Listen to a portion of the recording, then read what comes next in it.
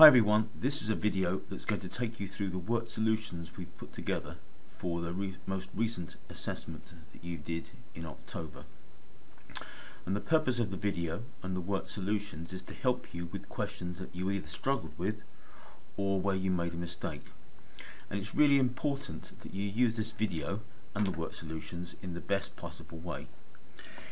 The easiest thing for you to do would be just to look at the video and look at the work solutions and just literally copy from one booklet to the other.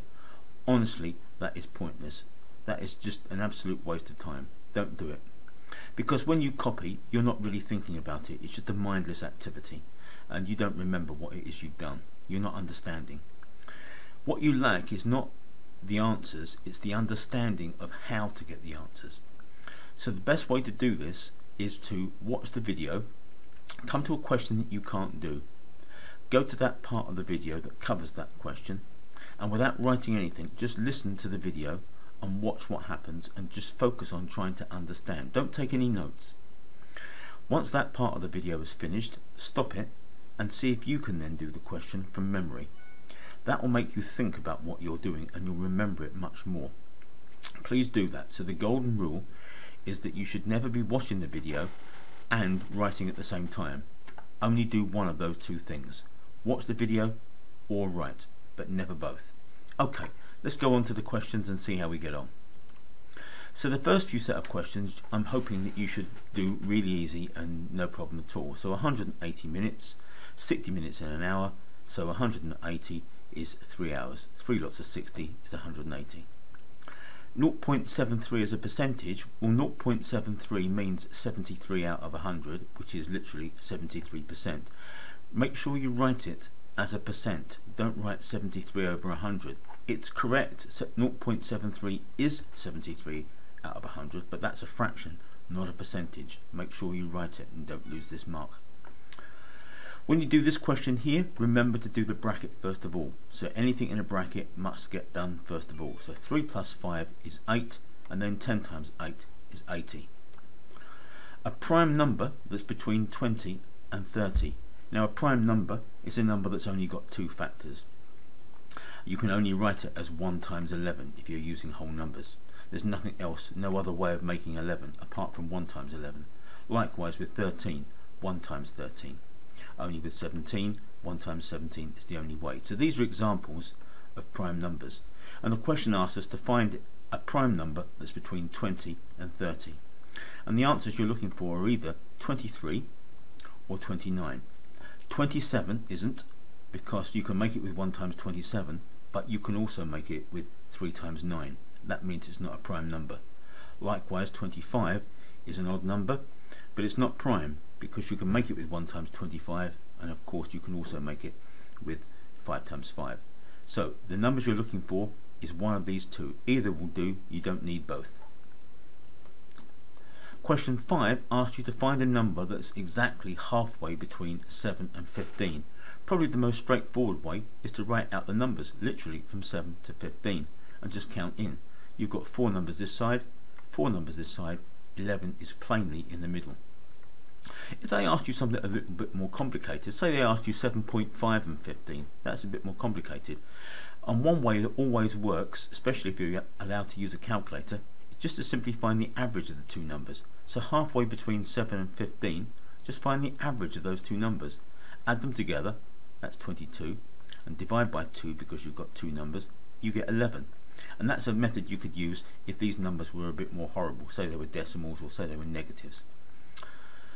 Question 6 is a fairly straightforward question, but people made a muck-up here with the £50 for each day. What they missed out is that the hotel is £50 for each day, but these are the total amount you would pay in a week. So it's only this amount that you multiply by 7. So the teacher here has said, okay, there's four people, so 150 lots of, four lots of 150 is 600 quid for the travel. £50 times 4 is £200 per person. Multiply that by 7 because it's 7 days in the week gives you £1,400 in total. And 250 times 4 per person is 1,000. Add it together, you get 3,000. Or you could just do it the other way around and say, okay, one person Well, they would have £150 for travel, £50 for each day, that's 50 times 7, £350 hotel, plus £250 spending money, add it up, you get 750 and that's the total cost for one person and now multiply it by 4 to get 3000 so 750 double it is 1500 double that again 3000 so either way you do it you should get the same answer.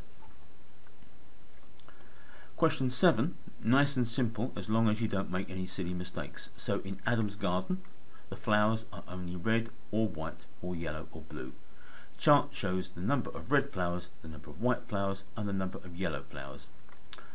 The total number of flowers is 30. Work out the number of blue flowers. So you simply add up the 8, the 10 and the 5 that you've got for the number of red, white and yellow flowers. That comes to 23 and then you subtract 23 away from 30 because what's left is the blue and that gives you 7. And amazingly you get two marks for that. So it's really important that you don't throw marks away and you make sure you get that. Two marks for getting seven. Now the mode is the most popular or common thing. It's the thing that happens the most. So you just simply look at the bar chart and look at which bar is tallest. It's white. Okay, we just worked out what the blue ones are. That's seven. That's not as high. So the tallest bar is white. Now it's really important that you write down that the mode is white. Some people put down 10. That's not the mode. That's the reason why white is the mode.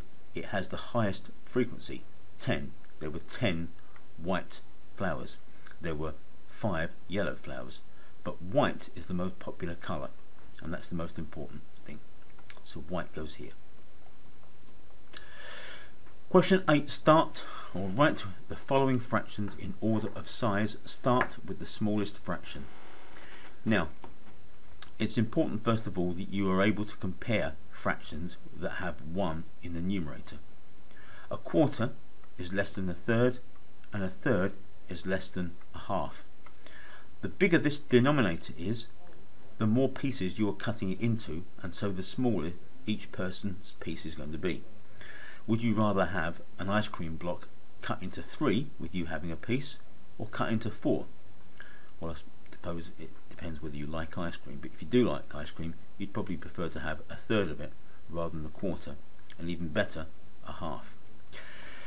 Then we've got 7 out of 12. Where does that fit? Well, 7 out of 12 is more than a half, because 6 out of 12 would be a half. So we know that 7 out of 12 is more than a half. Where are we going to put 3 quarters?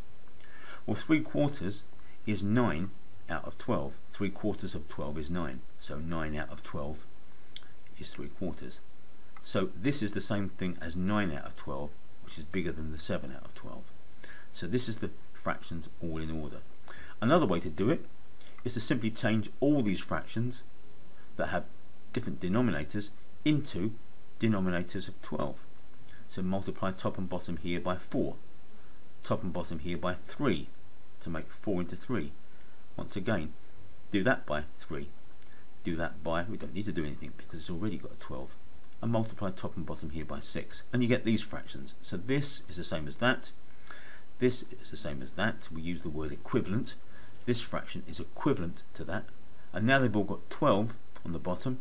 It's easy to see which is the biggest and the smallest by just comparing the numerators. That's why we make the denominators the same. Question 9. Ruth left her home at 9am and walked to the library. She got to the library at 10.30. Ruth walked at a speed of 4 miles per hour. Work out the distance Ruth walked. Well, she's walked a total distance of one and a half hours. Now she walks at 4 miles per hour. That means that she would do, well, she would do 4 miles in every hour. That's what 4 miles per hour means and so in half an hour she'd do half that distance which would be two. So in total in one and a half hours she would walk a total of four plus two six miles. Ruth got to the library at 10.30 and she stayed at the library for 50 minutes then she walked home. Ruth took one and a quarter hours to walk home. At what time did Ruth get home? Okay so add on 50 minutes to 10.30 makes 11.20 if you're not sure, what I do in my head is I add on an hour and then take off 10. Okay, because 50 minutes is 10 less than an hour. That's the way I do it in my head. Different people have got different ways. So she left at 11.20 and now we have to add on 1 hour 15 onto that, which takes us to 12.35. Question 10. Solve t plus t plus t is 12. Well, 3 t's are 12, so each of these t's must be worth 4. Then x minus 2 is 6, so it's really important you don't take the 6 away, the 2 away from the 6. That's a common mistake. Just simply add 2 to both sides and you get x is 8.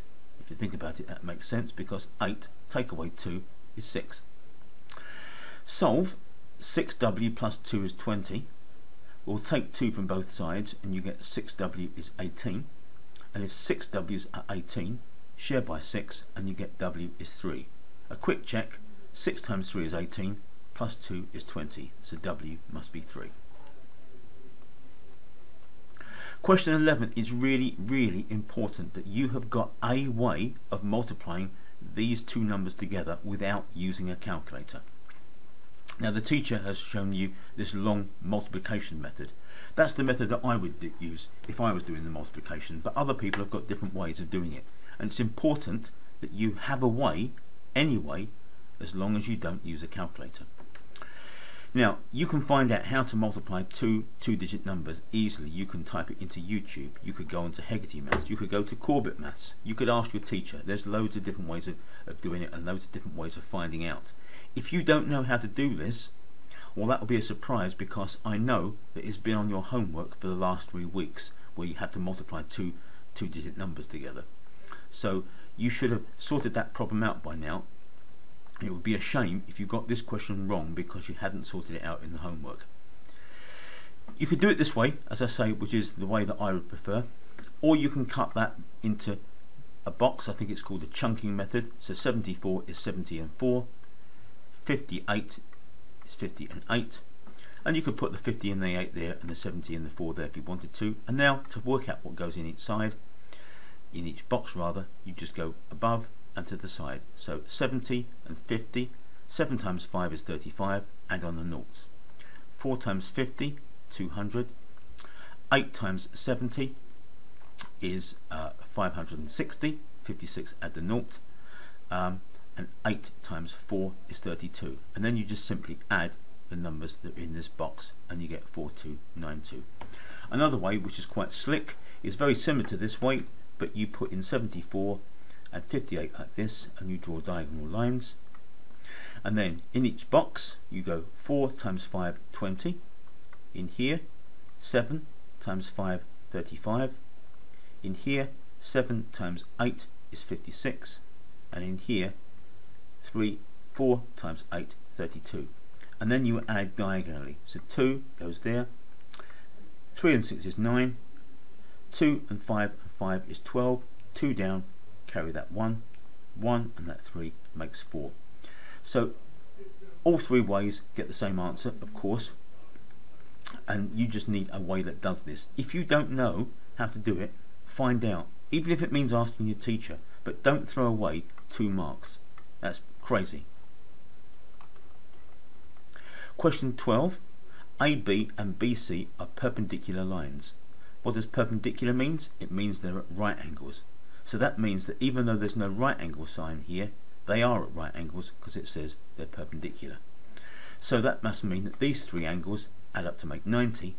Add up what you've got, 25 and 25. That makes 50. Take the 50 away from 90, you've got 40. RS and TU are parallel lines. You can see that because you've got the arrows on these lines. And PQ is a straight line. An angle of 125 is shown on the diagram.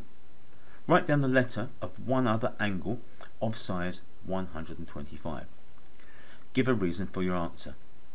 Well, the teacher here has written down two possible answers. You only need one. Probably the most straightforward and simple and easier way is to take B because it's opposite. So B because it's vertically opposite. You could also have D, which is this one here. Now, that angle and that angle are called corresponding angles. And when we're doing this in class, we often call these F angles, and that's because you've got a, like an F, a slanting F here. Okay, I hope you can see that. Now, when you're looking for angles that are the same, you're looking for F's. But you mustn't use it, and you mustn't call it an F angle. You must remember that it's a corresponding angle. And probably the best way, I think, of remembering it is Mrs. Deacon's uh, way, which is that F stands for fish, and a fish lives in a pond, and it's a corresponding angle. So when you're looking for an F, it stands for fish that lives in a pond, is a corresponding angle. Uh, you might have also heard of Z angles. You see a Z here. Okay, even though it doesn't ask us, this angle here and this angle here that's not labelled are the same because they make a Z and in that case you would use the word alternate and the way I remember that is because Z stands for zebra and a zebra's got alternating black and white stripes so onto this one here explain why A plus B plus C is 235 so A plus B plus C must be 235 because it has to add with the 125 to make a complete turn of 360 so you can see that the teacher here has written it out quite formally. It's just simply saying a plus b plus c is 235 because 235 plus 125 is 360 and all these angles are meeting at a point. That's the point, angles around a point. Question 13 is a question that lots of people got wrong. It says the length of a line is x centimetres. Write down an expression in terms of x for the length of the line in millimeters. Now, if you're not sure about that, just put some numbers in instead. If it was one centimeter, what would it be in millimeters? 10 millimeters. If it was three centimeters, what would it be in millimeters? 30 millimeters. If it was seven centimeters, it would be 70 millimeters. And now ask yourself, what am I doing to the centimeter number to turn it into the millimeter number? And you're just simply multiplying by 10. So whatever that x number is in number centimeters, you would multiply it by 10 to get how many millimeters you've got. So if you've got x centimeters, you've got 10x millimeters. Work out one fifth of 70. Well, first of all, there's two things to do. Number one, what do you do? Well, one fifth means you divide it by five. Okay, like one half means divide it into two, so one fifth means divide it by five. And the second stage is can you divide something by five? So you could do it this way, get 14. And an easier way to do it in your head is if you're going to divide it by five, well five is half of 10. So divide 70 by 10, first of all, because that's easy, that's seven. And because five is half of 10, it's going to go in twice as many times. So 70 divided by 10 is 7, so 70 divided by 5 is 14. Fiona has to work out the exact value of 48 divided by a half. And she writes 48 divided by a half is 24. That's what a load of people do. Real common error. Fiona's reason is there are two halves in one, so there will be 24 halves in 48. Explain what is wrong with Fiona's reason. Well, if you think about it, this part here is actually correct there are two halves in one. And can you see that this number is twice as big as this number? So in that case, this number should be twice as big as this, not half of it. If there's two halves in one, there'd be four halves in two, six halves in three, and basically 96 halves in 48. You're basically saying how many halves make 48. How many half pizzas would you need to make 48 whole ones, you'd need 96. Another way is simply that you know when you're dividing by a fraction, you take that dividing fraction, you flip it upside down so it becomes 2 over 1 and you multiply. So 48 divided by a half gives the same answer as 48 multiplied by 2 over 1, which is essentially just 2. So 48 times 2 is 96. The square root of 64 is 8 because 8 times 8 makes 64. And when you cube 53, I beg your pardon, when you cube 5, you're multiplying it by itself three times. So 5 times 5 times 5, 125. Question 16 says expand 2m minus 3 times 5. So everything inside this bracket gets multiplied by 5. 5 times 2m is 10m. Take away 5 lots of 3, which is 15. Now you're going to factorize this. So you're looking to see what factors they share. Well, there's a bit, an algebra bit here, but there's no letter there. So there's no letters that they share. The only thing that they share is that's in the 3 times table and that's in the 3 times table. So the 3 goes outside. Then you want an n here so that 3 times n makes 3n and a 4 here so that 3 times 4 makes 12. So this process is the opposite of this process. Here we started off with brackets and we got something without brackets. Here we've got something without brackets and we want to put it into brackets. Question 17. Stuart throws a biased coin 10 times. He gets 7 tails. Maxine throws the same coin, that's important, 50 times. She gets 30 tails. Prussia is going to throw the coin once. Whose results will give the better estimate for the probability that she will get tails? Stuart's or Maxine's? You must give a reason for your answer. Now Stuart got 7 out of 10 and Maxine got 30 out of 50. And the answer is Maxine. Her results are the most reliable because she has done the most trials. She did the experiment the most number of times. The more times you do in a, an experiment or a survey, the more people you ask, the more reliable are your results. Okay, so use Stuart's Maxine and Maxine's results to work out an estimate for the probability that Prussia will get tails. Well, we just agreed here that Maxine's results are the best because she did the experiment the most number of times. So if you combine these experiment results together, you'll get even more results and so the results will be more reliable. So in total, Stuart threw the coin 10 times and Maxine threw it 50, so that's a total of 60. And then Stuart got 7 and Maxine got 30 and that makes 37. So it's 37 out of 60. Just be careful that we're not adding these two fractions together. If we were asked to add 7 tenths and 30 out of 50, we would not be able to do what we've just done here. We're not adding these two fractions together, we're combining the results. 10 throws by Stuart, 50 by Maxine makes a total of 60. 7 uh, tails from Stuart, 30 tails from Maxine makes a total of 37. So that's your uh, answer for the probability. You don't need to turn it into a percentage or a decimal or anything like that. Leave it like that. Now, just going back to that first part of that question, it says whose results will give the better estimate for the probability that she will get tails? And a lot of people chose this number here because it's the biggest number. 7 out of 10 is a bigger fraction than 30 out of 50. But it didn't ask that. It's not asking whose results show the highest probability. It's not asking for the biggest fraction. If it was, it would be Stuart. It's asking who has the most reliable, trustworthy results. It's a biased coin. We know it's not going to be a 50-50.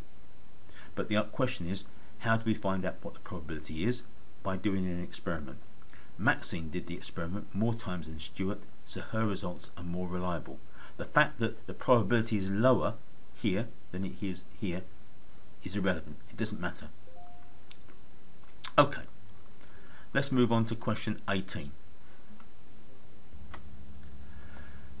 So question 18 says the diagram shows a rectangular garden path 600 centimeters by 120 centimeters and Wasim is going to cover the path with paving stones. Each paving stone is a square of side 30. Each paving stone costs £2.50. Wasim has £220 to spend on paving stones show that he has enough money to buy all the paving stones he needs. Now what some people did is they took this 120 and the 600 and they multiplied it to get 72,000 and then what they did is they divided it by 30. Now multiplying these two numbers together to get 72,000 is one way of doing the question but That's the area of this rectangle. To make it right, what you would need to do then is rather than divide by 30, which is a length, you need to divide by the area of this square, which would be 30 times 30, which is 900. So you would need to divide 72,000 by 900.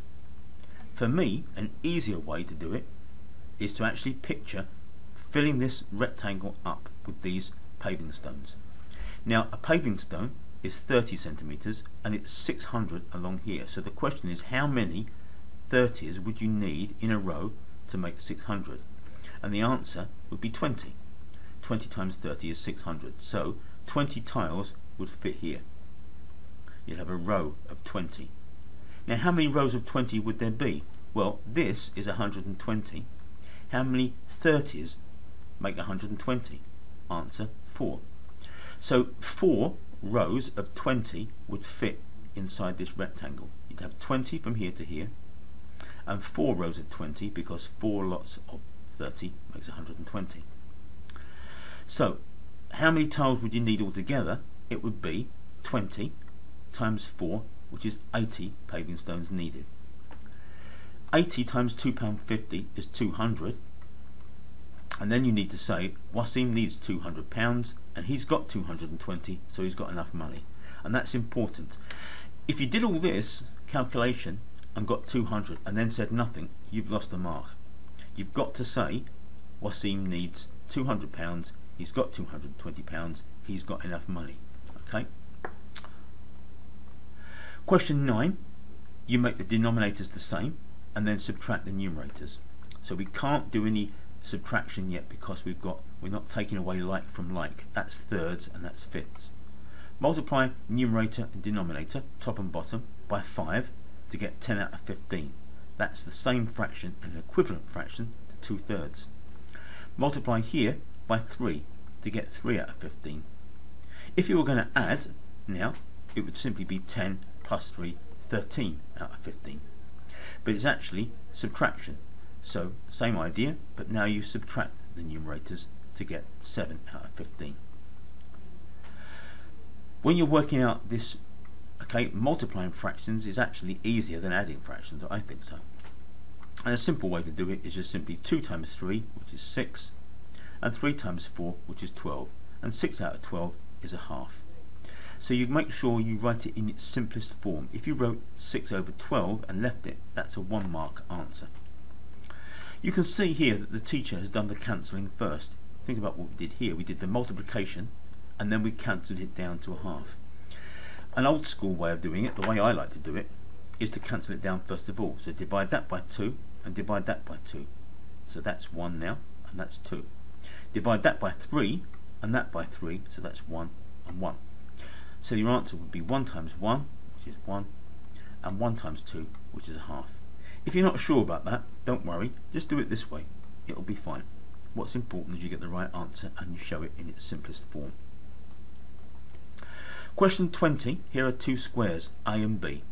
The length of side square A is 50% of the length of the side of square B. Express the area of the shaded region of square A as a percentage of the area of square B. Now, I am someone who likes a diagram. You can see here that the teachers used some algebra, and that's fine. But you could just do it with a diagram. So, some people, and I'm one of them, like a diagram. So, basically what we're saying here, the length of the square A is 50% of the length of the side of square B. Another way of saying it is that is twice as much as what that is. So that means we could fit in 2 by 2, 4 of these squares here would fit in this diagram. And I think when you look at it, you can see it more clearly. So doing a diagram really helps. So you can see that each of these squares is 25% of B. You need four of them, so each one is a quarter, so it's 25%. So A is 25% of the whole square. And the triangle is half of that square, so it's half of 25%, so it's 12.5%. Question 21. There are 40 students in a class. Each student walks to school or cycles to school or gets the bus to school. There are 22 girls in the class. 9 of the girls walk to school, seven of the boys cycle to school, six of the ten students who get the bus to school are boys. Find the number of these students who walk to school. Now, the way that I would recommend doing it, and the way that the teacher's done it below, is to put it in what's called a two-way table. And what that means is the data you've got is split in two ways. One way it's split by gender, boys and girls, and the other way is it's split by the way they get to school. So what you want to do is draw a table up like this that splits the data by gender and then total, and then the way they go to school. And this helps to present the information so you can see what it is you've got to do. So let's have a quick look. You've got 22 girls or 40 students in the class. So there's 40. I'm just going to make the magnification a little bit smaller so we can see both these things at the same time. Okay, so you've got 40 students in class, so there's your total. It says there are 22 girls in the class. So immediately you know that there will be 18 boys. It says 9 of the girls walk to school, so 9 girls walking to school. 7 of the boys cycled to school, 7 boys cycle to school. 6 of the 10 students who get the bus are boys. So 10 boys get the bus, okay, and 6 of them, beg pardon, 10 people get the bus and 6 of them boys. Once you put this information into a table, it's easy to work out what the missing numbers are going to be and how you're going to do it. Trust me, it is so easy. The most difficult thing of this whole question is actually realizing that you've got to put it into a table. And when you do, you're working out the numbers really easily and you've got four lovely simple marks. Okay, let's just make that bigger again. So, question 22. There are only blue cubes, red cubes and yellow cubes in a box. The probability shows that, beg your pardon, the table shows the probability of taking at random a blue cube from this box is 0.2.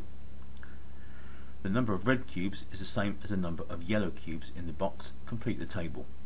Well, if that's 0.2, what's left must be 0.8 because they've got to add up to make 1.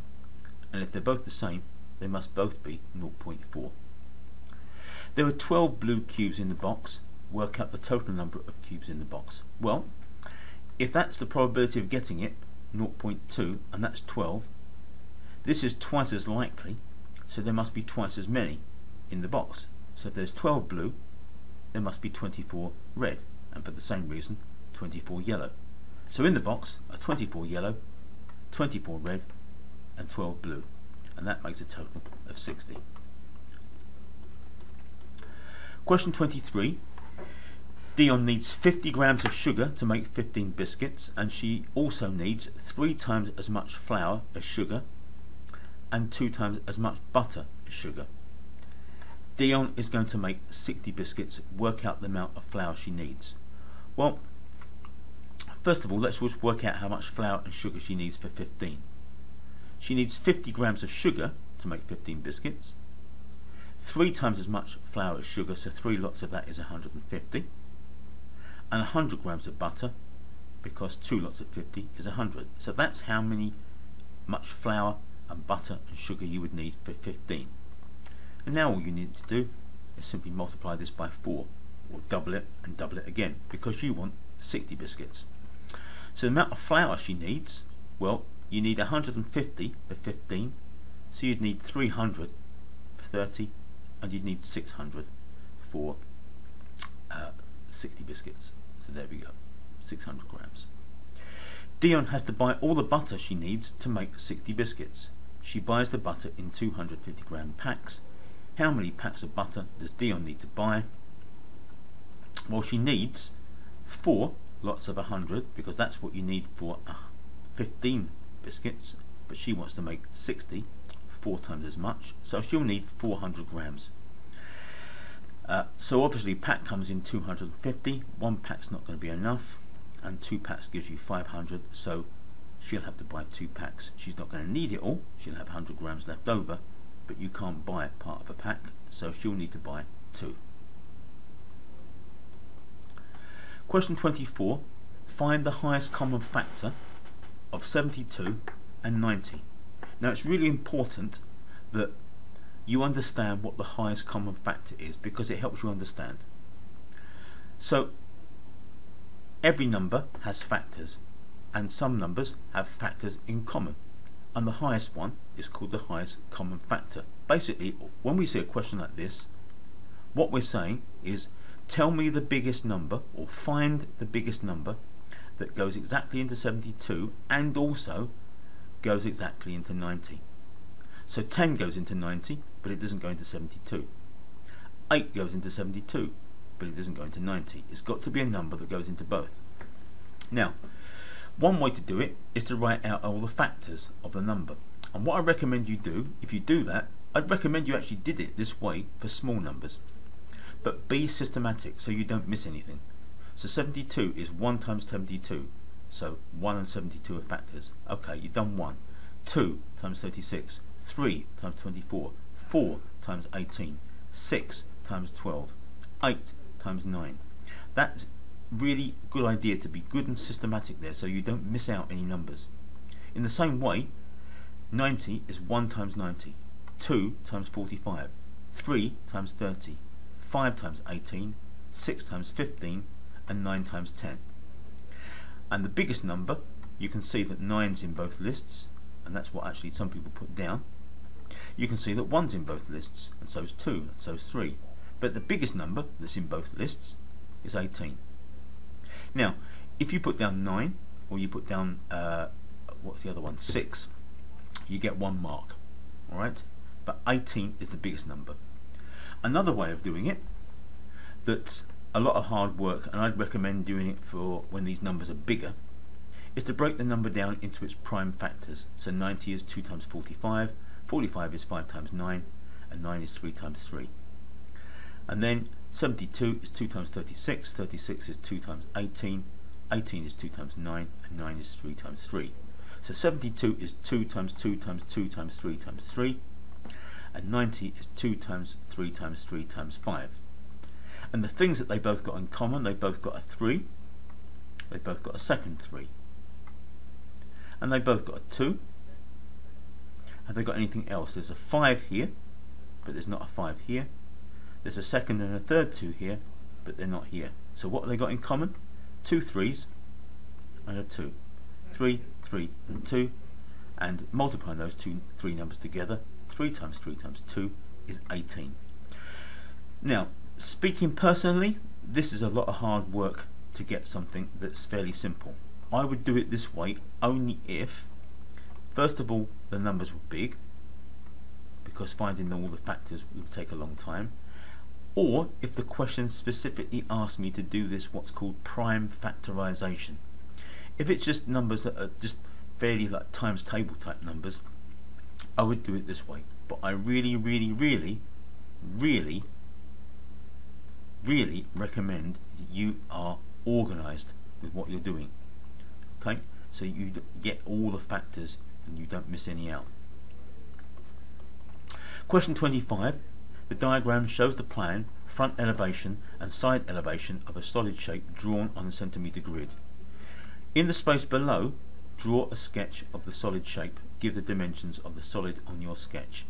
So this is essentially a Pritt stick. When you look down on it, that's what a plan is, the view you get when you look down, you would see a circle.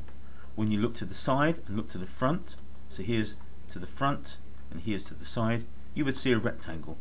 If you don't believe me, get a Pritt stick and look at it. So this is called the front elevation, just basically means front view, side view and plan view, which is looking down. So it's a cylinder. Lots of people got this answer and they got a mark for it. They lost a mark because it says give the dimensions of the solid on your sketch. And you've got to write down height is 5. Actually draw a line in there.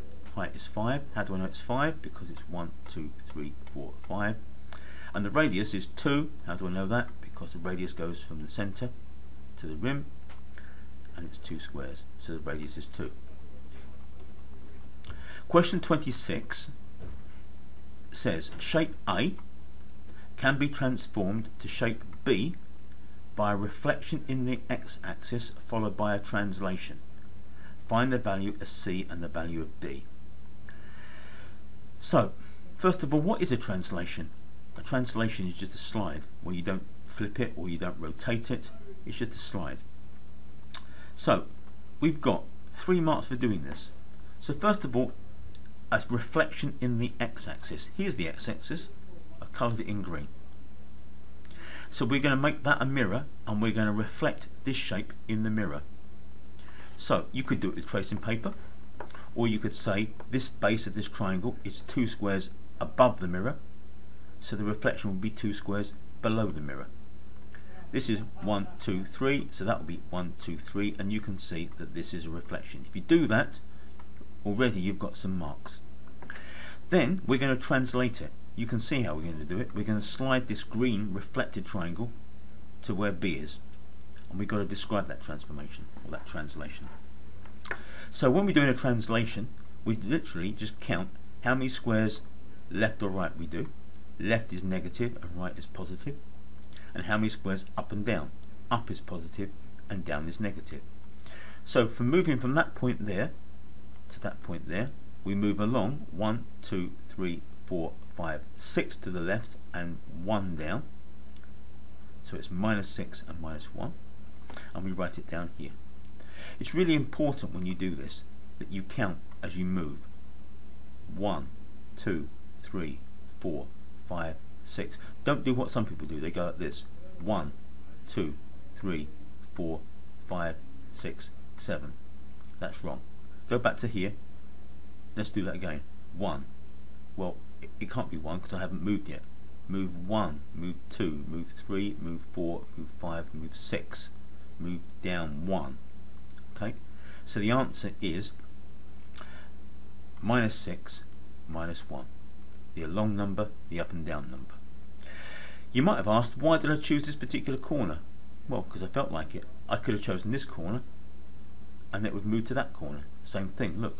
1, 2, 3, 4, 5, 6 and 1 down. Takes me there. So all the corners move in the same way.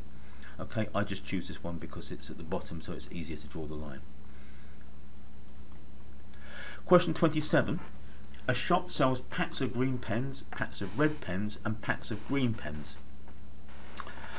It says there are two pens in each pack of black pens, five pens in each pack of red and six pens in each pack of green pens. On Monday, the number of packs of black pens sold to the number of packs of red pens sold is in this ratio 7 to 3 to 1. And it says a total of 212 pens were sold. Now what a lot of people do is they add up these numbers, that gives us 14, and they do 212 divided by 14 and then they hit a brick wall because they didn't read the question.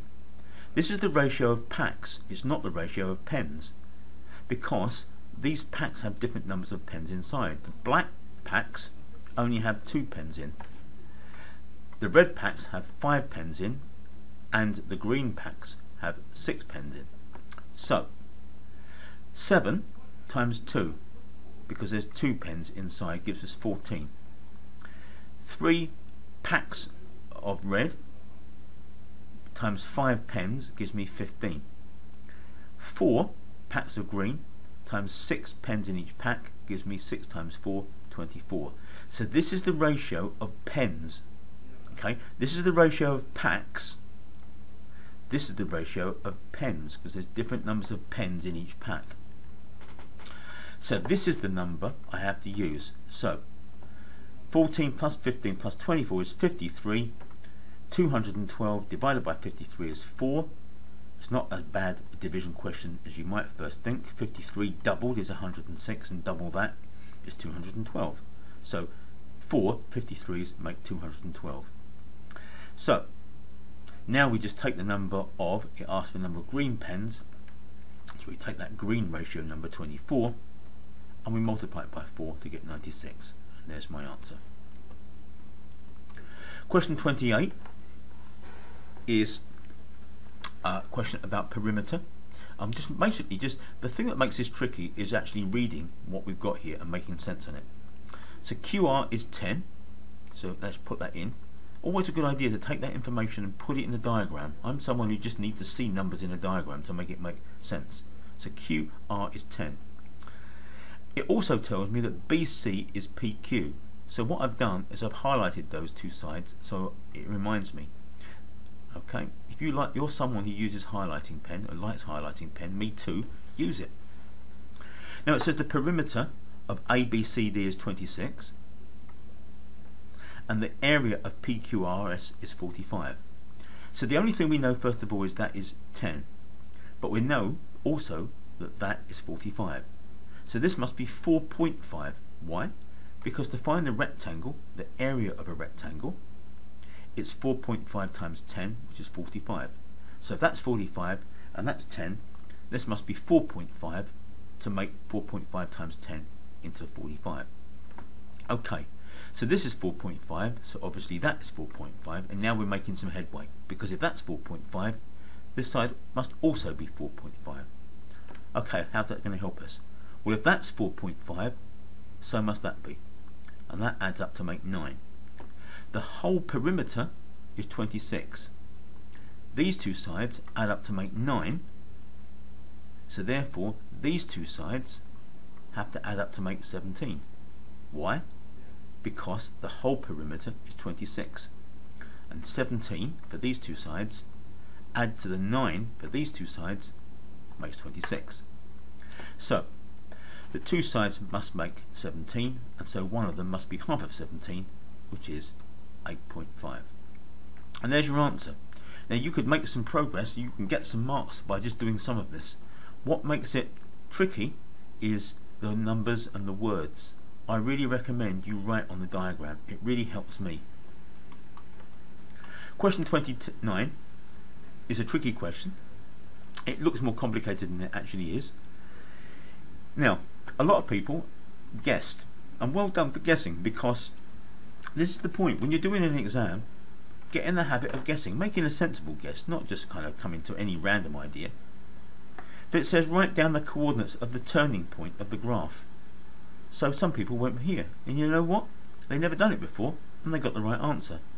The turning point. Why did they choose that? Because it's turning. You're sloping down, it flattens off, and then it turns around and starts going up again. So if you had to look at this graph and say where's the turning point, you should have said there. What's the coordinate? 1 minus 4. And if they did that and they guessed, well, well, well, they've got the right answer. Then it says use the graph to find the roots of the equation x squared minus 2x minus 3 equals 0. So this is the graph of x squared minus 2x minus 3 equals 0 2, 3 rather. Start again. This is the graph of x squared minus 2x minus 3. Where does it equal 0? Well here's the 0 line. It equals 0 there and it equals 0 there. So even though this looks complicated, it's just a simple matter of saying what that answer is, 3, and what this answer is, minus 1. And you get one mark for each one. Okay, that comes to the end of this particular paper. I hope you found the video helpful. Remember, it's really important to focus on understanding. That's why I've tried my best to try and explain things to you. Please, please, please, I know I keep on saying it, but it's really important. Don't just copy down. It is so pointless. Okay, read the question, look at the answer, watch the video without writing, and then you have a go. And you will remember it far more. Okay? Cheers, folks. Thanks. Bye.